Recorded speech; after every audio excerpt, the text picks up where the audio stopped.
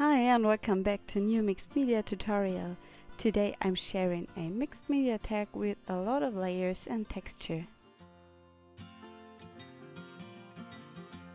I'm using a tag that is already printed with the jelly plate and I have also added some white gesso to it. And now I'm using an old tea bag and tear it apart and I will glue it down with gel medium. The thin material of the tea bag adds a nice texture to the tag and also some shadings.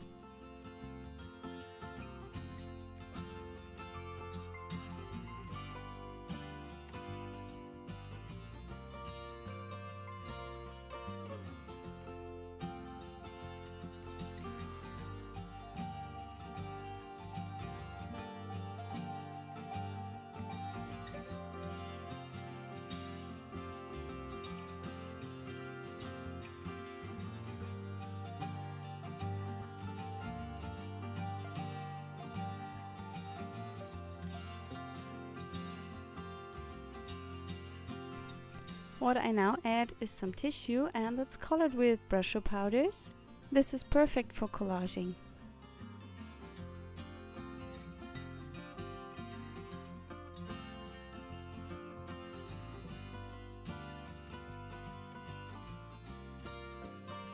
I also decided to add some paper napkin.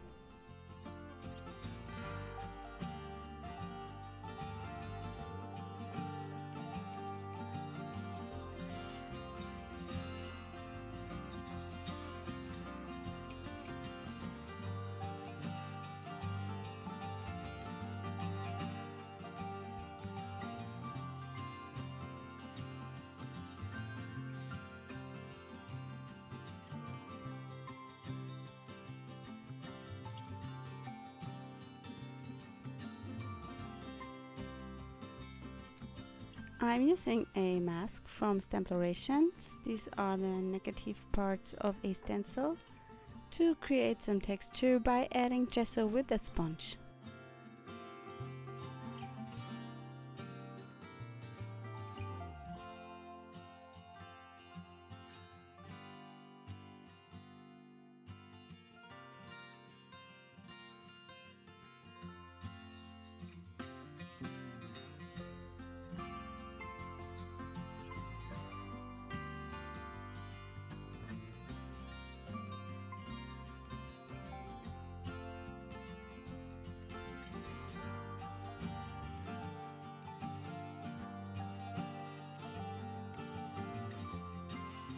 I also add some gesso with my fingers because I like a lot of white space.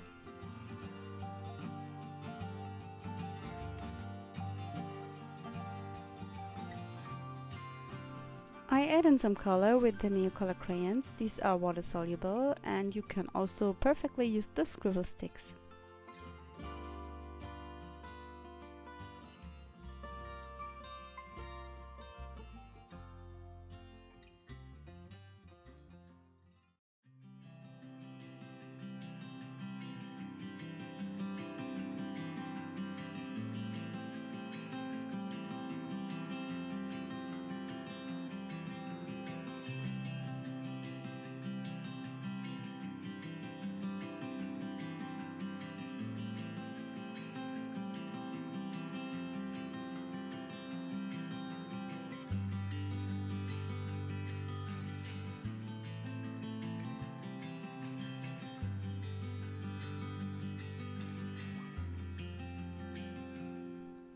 I am applying more gesso with the palette knife.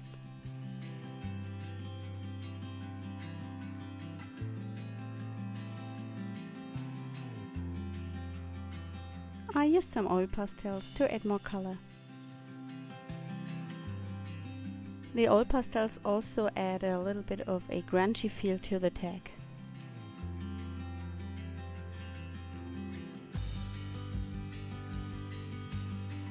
I picked the rubber dance carved whimsy wood stamps. These are uh, rubber stamps but they look like handcrafted stamps. And I ink the mushroom up with a Neocolor crayon, spritz it with, with water and stamp it to the tag. You can also use the scribble sticks for this technique.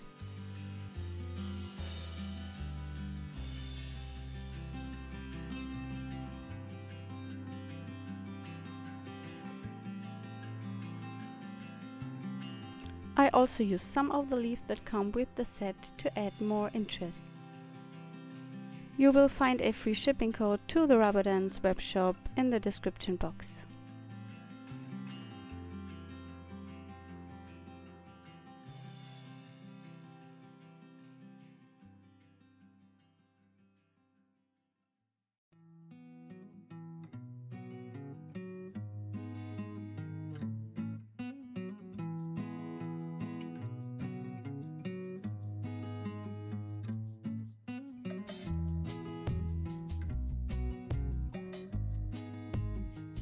I'm stamping my sentiment that also comes from Rubber Dance onto a piece of tissue paper and I will glue it down with gel medium.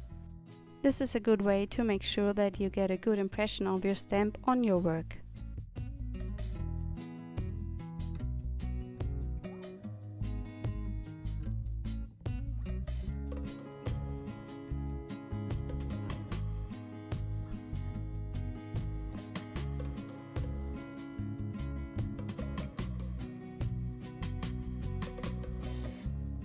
I use a piece of black cardstock to frame my tag. For that I glue it down and cut it out just a little bit bigger than the original size.